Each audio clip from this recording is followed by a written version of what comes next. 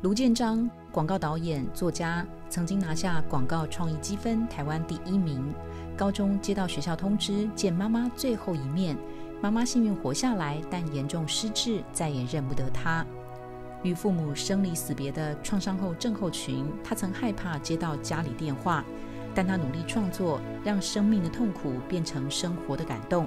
他深信，除了死之外，都只是擦伤。一起看卢建章的故事。最坏的打算，最好的祝福。Hello，我是导演卢建章。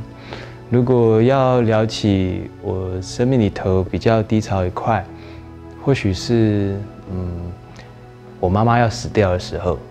那时候我读南一中三年级，突然间被找去说要见最后一面。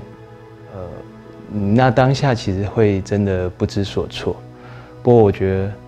很奇妙的是，本来说要死了，后来变植物人，再后来竟然奇迹的可以回家，只是只是，嗯，再后来变成了一个失智症的呃患者，所以在我的生命里头，超过一半时间以上，家里头是有一位失智症的家人的。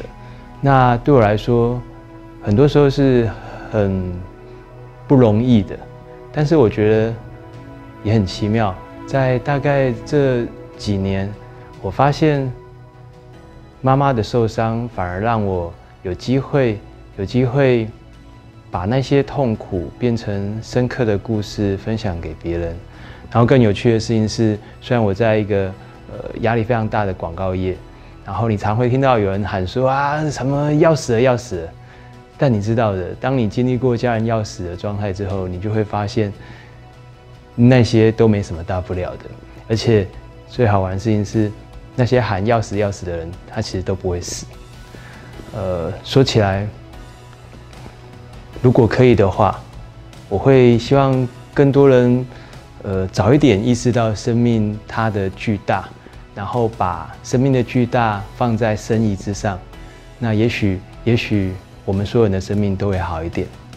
我是卢建章，这是我的故事。希望你喜欢。